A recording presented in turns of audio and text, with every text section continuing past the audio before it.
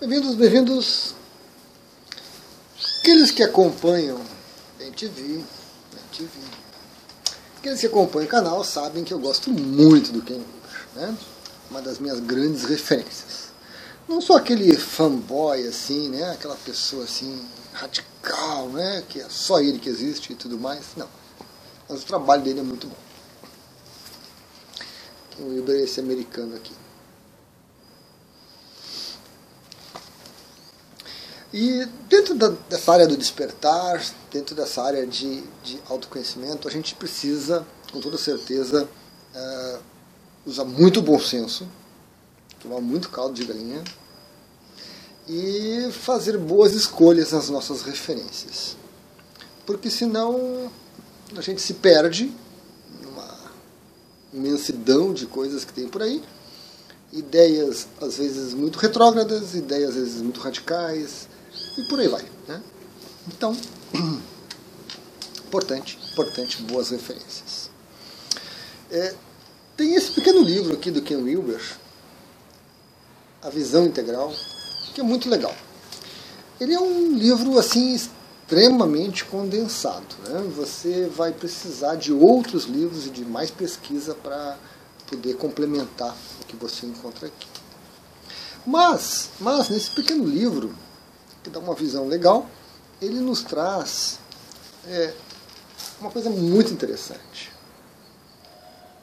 Prática de vida integral. Né?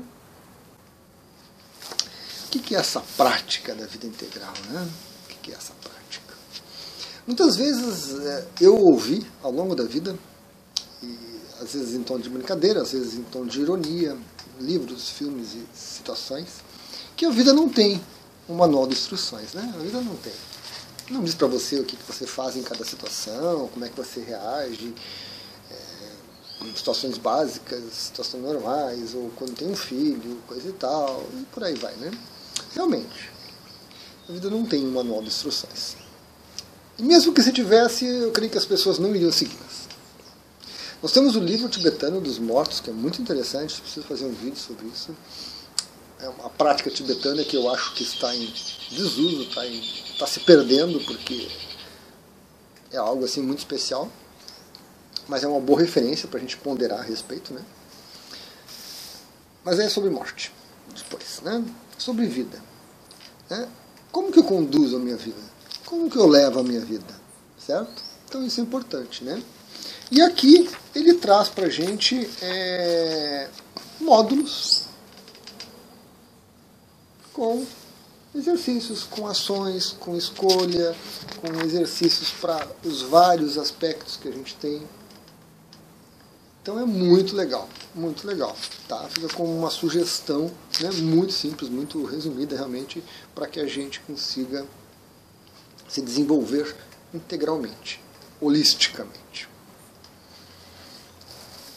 Então é uma parte do livro que vale a pena.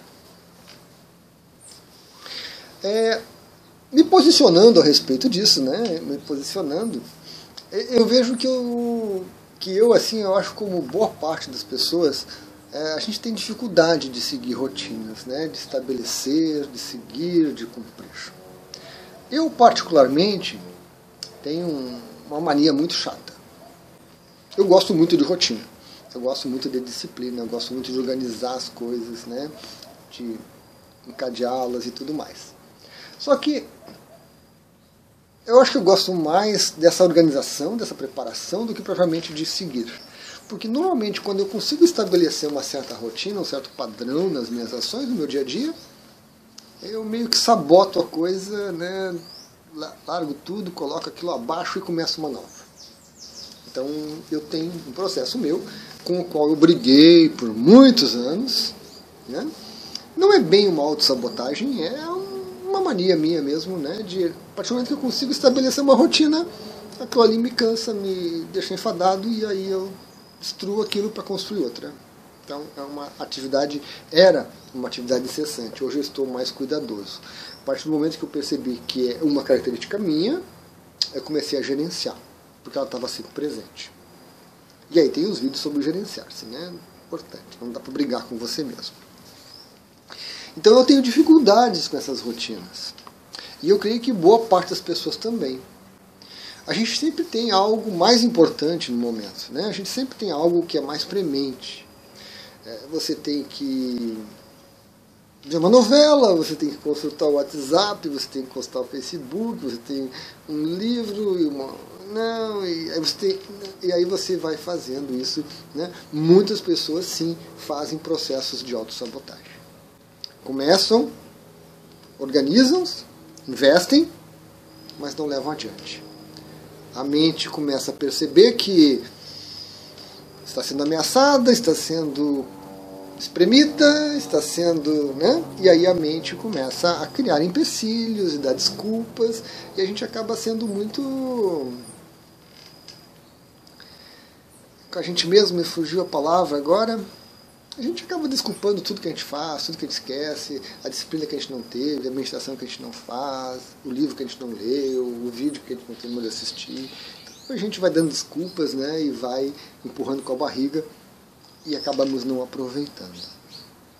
O problema é que com como resultado disso a gente tem problema, né? A gente tem problema.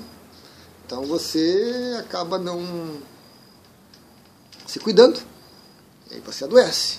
Você não acaba se cuidando mentalmente, emocionalmente, você não, não se fortalece, não se equilibra, aí você adoece.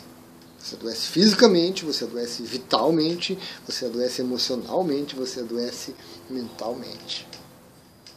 Certo? Então, é um ponto de equilíbrio a ser procurado, buscado pelas pessoas como um todo, hoje em dia, cada vez mais. As pessoas estão despertando.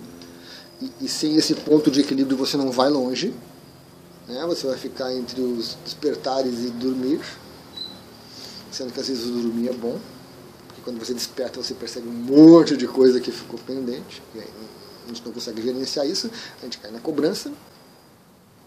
Mas, a partir do momento que você se volta para um despertar e que você percebe que certas coisas são necessárias, não dá para fugir, não dá para esconder, não dá para empurrar para debaixo do tapete, porque vai cobrar né? seu preço, vai ter a sua dificuldade, vai ter os seus problemas, vão ter os seus problemas e vão ter os resultados que não vão ser legais não vão ser legais. Agora, a gente tem que ser franco com a gente mesmo para observar até que ponto nós estamos interessados né, nesse desenvolvimento, nesse autoconhecimento. Até que ponto não é só para inglês ver, né? Colocar uma cartaz lá, eu sou uma pessoa desperta, eu estou preocupado com isso e com aquilo, eu faço tal coisa. Mas, por exemplo, uma coisa muito básica, né? Uma caminhada, um exercício físico não adianta você caminhar uma vez por semana. Não adianta caminhar quando dá na telha. Ah, hoje eu vou caminhar, hoje eu vou fazer exercício. Você tem que ter uma regularidade. Meditação, até você descobrir a técnica que se adapta melhor a você, leva tempo. É exigente, tem, tem, tem que fazer algum esforço. Ah, hoje eu vou meditar. Ah, hoje eu vou meditar. Né? Então, realmente, se a gente for olhar para a nossa vidinha, a gente vai encontrar uma série de desculpas que a gente vai dando dia após dia, dia após dia, e que não vão contribuir nada para o nosso autoconhecimento, para a nossa melhoria, né? para o nosso Kaizen. Mestre Suído, rei que dizia, né? Shin Shin Kaizen, melhoria contínua, corpo, da mente e do espírito essa melhoria contínua, essa, essa busca, esse crescimento, não é para que você se torne um super-homem. Esqueça. Não é para você se tornar o, o top of the top dos espertos. Esqueça isso. É para que você tenha uma vida mais integral, mais completa, uma vida mais tranquila. Você vai adoecer, você vai ter problemas, mas à medida que você consegue desenvolver esse seu aspecto de despertar, com certeza você vai enfrentar essas coisas que fazem parte da vida de uma maneira muito mais tranquila, de uma maneira muito mais harmônica, né? sem causar grandes problemas para você e para os que estão ao seu redor. Que é muito importante. Né? Não espalhar os nossos problemas para os outros. A gente ser mais autossuficiente. Então, um bom livro para leitura, para ter uma, uma visão geral do que é o Ibero. Um, é um livro bonito, com muitas imagens. Mas é uma leitura um pouco complicada porque, por resumir demais, né?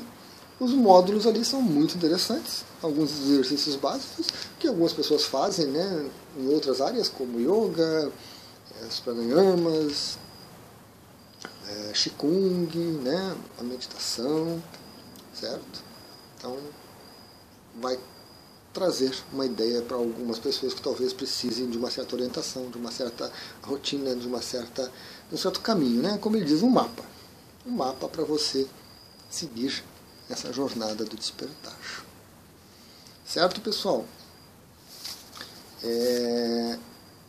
E mesmo para aqueles que né, se sentiram é, representados né, num vídeo sobre o aspecto de dar desculpas de não fazer, não adianta. É você se condenar, não adianta você se julgar, não adianta você se cobrar por isso. A gente tem que corrigir seguir adiante melhor coisa que tem. Ficar olhando para o passado e dizendo, ah, se eu começasse mês passado, ah, se no início do ano eu tivesse seguido aquela rotina. Não, isso, isso é um processo de desgaste energético inútil.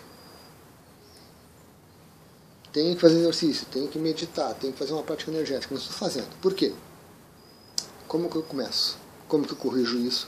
E vamos adiante. O que passou, passou. Esquece, né? Vamos adiante. Vamos procurar melhoria. Até a próxima.